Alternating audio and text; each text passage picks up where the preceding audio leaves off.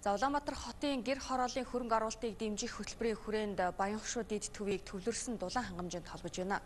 Энэ хөтөлбөрийн хүрээнд баригдаж ашиглалтад ороод байгаа Цэлб дулааны станц нь 28 мегаваттын хүчин чадалтай юм. Сэлбэдийн төвд өнөөдрийн байдлаар 3260 айл өрх амьдарч 117 аж ахуй нэгж байгууллага үйл ажиллагаа явуулж байна. Хэсэгчлэн ерөнхий төлөвлөгөөний дагуу ирээдүйд бий болох 7000 гаруй айл өрх 300 гаруй аж ахуй нэгжийн дулааны ачааллыг Сэлб дулааны станц хангахаар тооцжээ.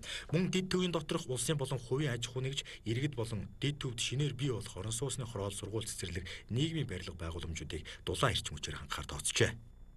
За өнөөдөр нээлттэй хийж байгаа манай дулааны станцын Хүрээнд бол бид нар 27 нэгж талбар буюу 27 айлыг чөлөөсөн.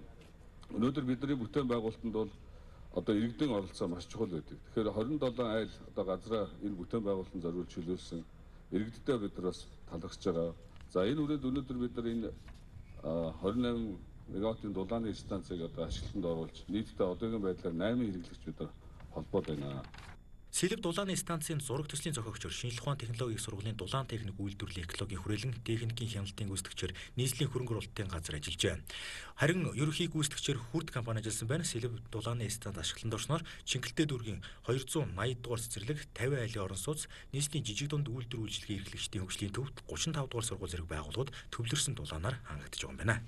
Ирэх жил бидэнд зорилгууд бий айл ал тал нь хичээж энэ зорилтоо хэрэгжүүлж ахаад ийм хэрэгцээ шаардлагатай байгаа дам даржаа шарахад манай толгой төвүүдийн энэ төслүүдийг бид амжилттай хэрэгжүүлж дуусгах ёстой. За ер нь бол 28 мегаваттын станц гэдэг бол бид нар зүгээр жишээ аваад үзэхэд бол аймгийн төвийн дулаан аймгийн төвийг одоо тэр чигээр хангах хүчин чадалтай юм том дулааны станц. За бид нар бол ерөнхийдөө нийслэл хот маань 2016 онд амгалан дулааны станц нээж одоо Улаанбаатар хотыг төвлөрсөн дулаан хангамжийг хэсэгчлэн хангамжтай хийжсэн туршлага бол яг энэ 2016 оноос хойш хамгийн том бүтээн байгуулалт нь бол энэ дулаан хангамжийн системд энэ сэлбийн дулааны станц гэж яригдж бид бүхний одоо өнөөдөр нээж ингэж байгаа энэ дулааны станц маань юм аа.